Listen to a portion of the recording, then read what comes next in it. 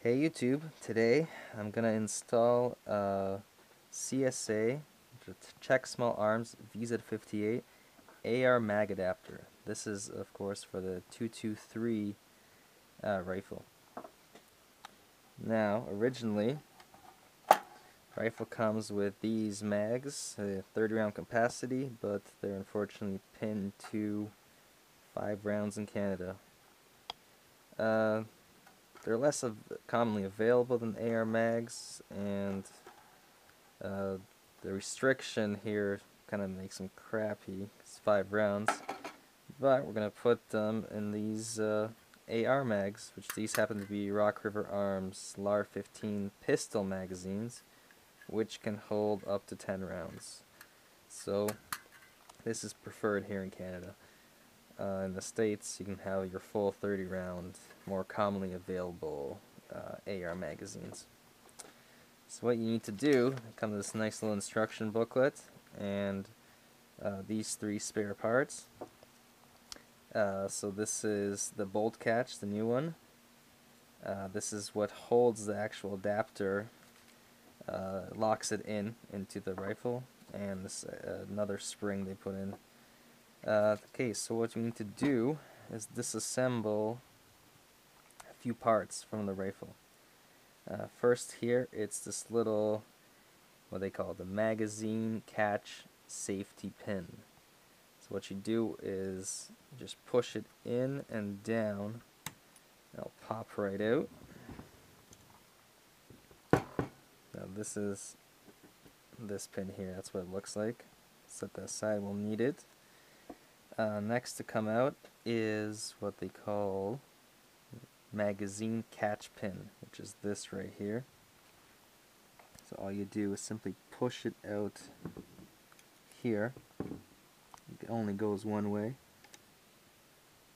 Now you don't want to push it all the way out because this uh, uh, 24 was the magazine catch will pop flying out because it has a spring. So what you want to do is just do it slowly put your hand over it here or hold it down otherwise it'll pop up. So that's halfway. Comes out. And here is the spring that holds it in. We'll need that uh, later. So you set that aside here.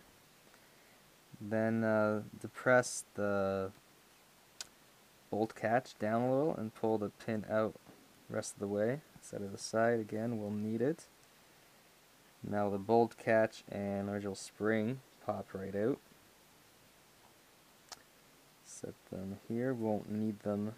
Um, we won't need them for the new installation. Okay, once this is out, and then you just re reverse the process, but with the new parts. So here's the modified bolt catch, and you use the new spring as well.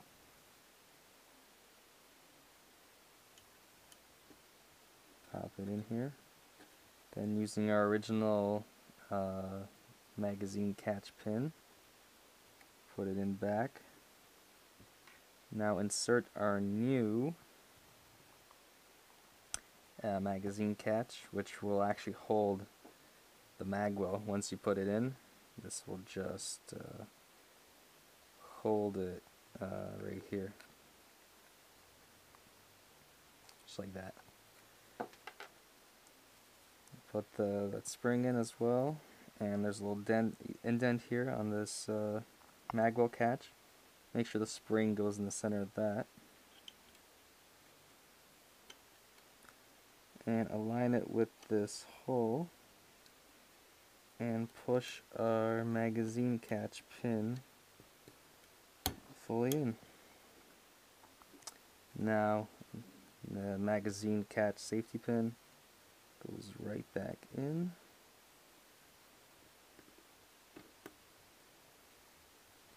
And now we can actually insert the, the magwell. So it just snaps right in.